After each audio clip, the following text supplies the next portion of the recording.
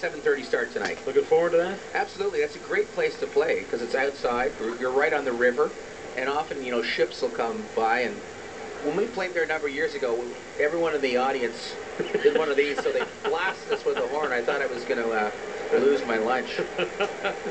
Josh Barfield leading it off here for the Indians. Is Josh related to Jesse? Yes, that's his dad. Right on, Jesse. Absolutely. Because Yep. he used to play in Toronto, where you guys are from. Absolutely, he was a stalwart on the Blue Jays when the. Uh, I, I'm not. I'm not sure if he was around for the World Series back-to-backers, but I know in the uh, in the '80s He came up in the 80s. He led the American League in uh, home runs. I played against him. He hit a lot of balls over my head when I was a player. Absolutely. Well, that's great to see his, you know, the, his son here. Father's Day. This is great, fellas. this is Magic TV. Josh fouls one off over on the left side. So growing up, were you a big baseball fan? I know hockey is king in Canada.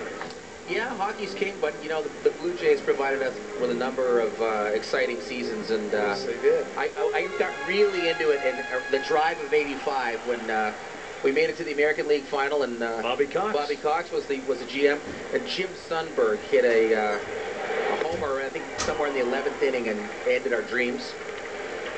But uh, you know, it was uh, a great time, and then we won the back-to-backer. So the problem with it, the Jays in Toronto is, as you say, is a hockey city. So uh, getting some of those Maple Leaf fans out to the uh, ballpark is sometimes difficult, but I remember when they uh, first opened up Exhibition Stadium out there and they played down on the water. yeah. They could drink beer. Really good. Hey, some Molsons and stuff. And there was a doubleheader one time when we were in there playing them, and I had my boys up from Niagara Falls, New York. It was an ugly thing at that, about the seventh inning of the second doubleheader. Well, you know, we got the high test beer up there, Yes, right? so uh, I was trying to tell those guys from New York, don't Pace be yourself. careful. absolutely. But it's such a great day here at, at the ballpark, and this field is, you know, this is an example of the of the great new old style ballparks, Yeah. and it's uh, it's so nice that we got the Sky Dome in Toronto, which is it can be a little bit foreboding, but they've improved that a little bit as well. It looks a little more like a real ballpark. Now, not only are you guys on tour, but I understand in the off season you've got something pretty cool.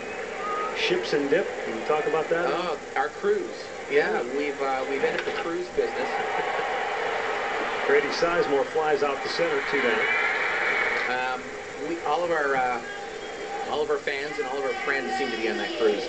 Uh, we have a bunch of other bands that we're pals with, uh, guys like Guster and uh, uh, the Odds out of Canada, and um, uh, comedians. Harland Williams, the guy who was in Rocket Man, comes on the uh, comes on the cruise with us, and it's essentially a floating music and comedy festival with It's a lot of fun. isn't it? It's so fun. I, we were dreading it at first. We thought they'd be locked up with our fans on a boat for five days.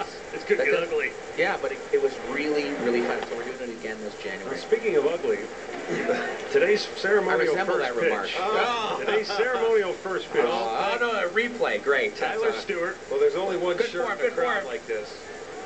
Oh. just to a bit outside. It was a bit of a, yeah, just a little outside. You know, uh, it was far away out there. It looks a lot closer on television. And You uh, have to throw it a little softer and put a little more Little more air arc. underneath it, a little more arc, and it would be fine. It looked like you turned it over for a screwball and you didn't have the hitter up there. yeah, uh, that would have been, uh, I probably would have taken the hitter out. He might have charged the mound, and uh, the ladies would have been looking for a new drummer tonight down at the uh, Plain Uh, you know, the great thing about the first pitch and the ceremonial thing is you've seen people on TV mess it up, right? And then you've seen people just sort of lob it in there. I said, I'm going to go somewhere in between. I'm not going to mess it up, and I'm not going to lob it.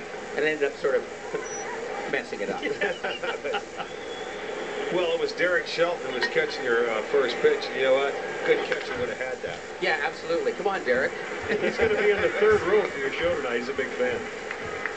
Jason Michaels grounds out the end of the inning. Tyler, thanks for being with us. Uh, great Have to a be great here. show tonight. Yeah, what a pleasure. That's Tyler Stewart, the Barenaked Ladies. They're at concert tonight at the Plain Dealer Pavilion. No score here in Cleveland after three.